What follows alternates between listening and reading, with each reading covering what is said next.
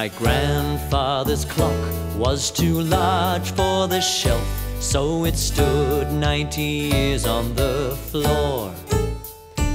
It was taller by half than the old man himself, though it weighed not a penny weight more.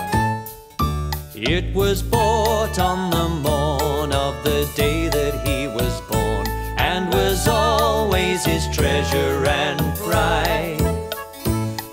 it stopped short, never to go again when the old man died.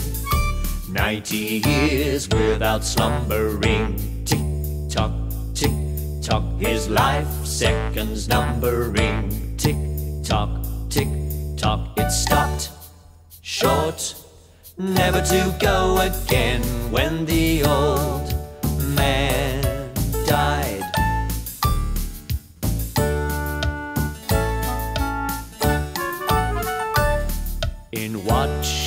its pendulum swing to and fro, many hours he spent while a boy.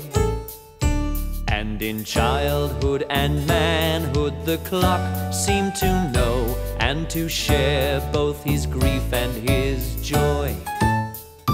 For it struck 24 when he entered at the door with a blooming and beautiful bride.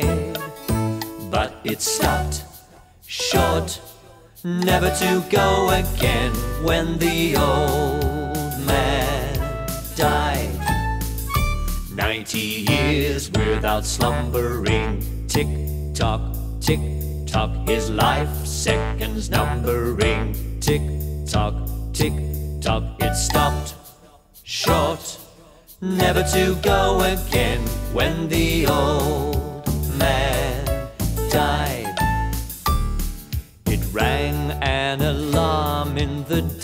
dead of the night, an alarm that for years had been dumb. And we knew that his spirit was pluming for flight, that his hour of departure had come. Still the clock kept the time with a soft and muffled chime, and we silently stood by its side.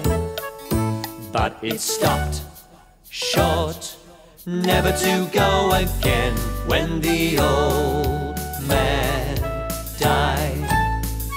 Ninety years without slumbering, tick tock, tick tock, his life seconds numbering, tick tock, tick tock, it stopped short, never to go again when the old man